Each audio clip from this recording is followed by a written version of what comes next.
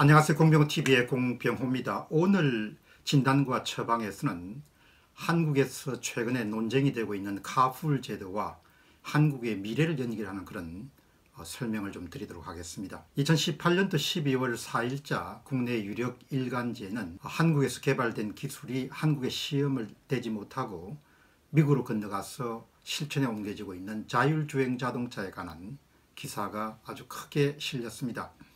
그 기사를 다룬 어, 기자는 기사의 첫 서두를 해외 투자자들 카풀 제도조차도 수용하지 못하는 한국에 실망한 나머지 투자 결정을 접었다는 그런 주장이 실려 있습니다. 제가 그 기사를 보는 순간에 1997년도 대한민국이 외환위기를 경험하기 바로 이전에 한국의 시위대들은 아주 두 가지 사건 때문에 극성을 떨었습니다.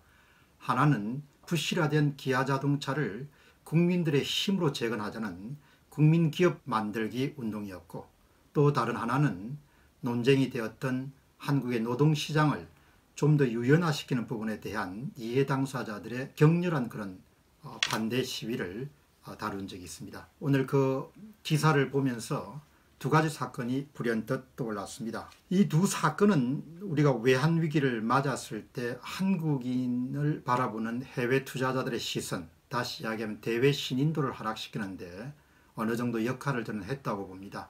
아, 저 나라는 스스로의 힘으로 필수 불가결한 그런 정책 도입을 할 수 없는 나라구나.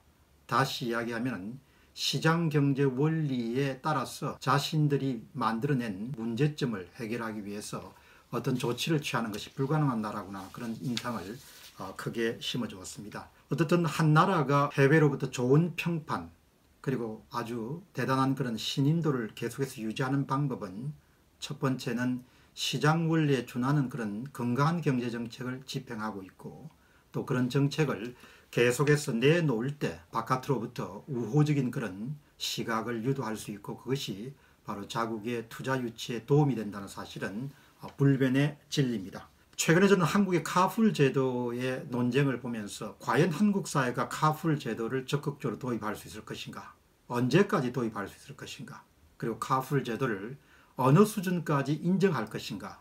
이 문제들을 단순히 카풀 제도의 도입 여부라든지 소비자 후생의 정대 같은 그런 문제점으로 바라본 것이 아니고 저는 앞으로 한국 사회가 새로운 혁신을 어느 수준까지 용인하고 받아들일 것인가라는 것을 가늠할 수 있는 그것을 청량할 수 있는 잣대나 기준이 되는 그런 사건으로 이해했습니다. 어쨌든 한 사회가 발전하기 위해서는 머무르지 않는 그런 마음가짐이 굉장히 중요하다고 봅니다. 세상은 변하고 과거에 한때 잘 나간 것은 그냥 과거의 일이고 지금 또 앞으로 계속해서 잘 나가기 위해서는 새로운 변화를 받아들이고 새로운 혁신을 받아들이고 새로운 실험을 받아들이고 새로운 도전을 받아들이고 이런 부분들을 경제 주체들이 적극적으로 수용하고 그것을 당연히 이길 때 한 사회가 계속적인 발전을 유지할 수 있지 않겠냐는 생각을 하게 됩니다.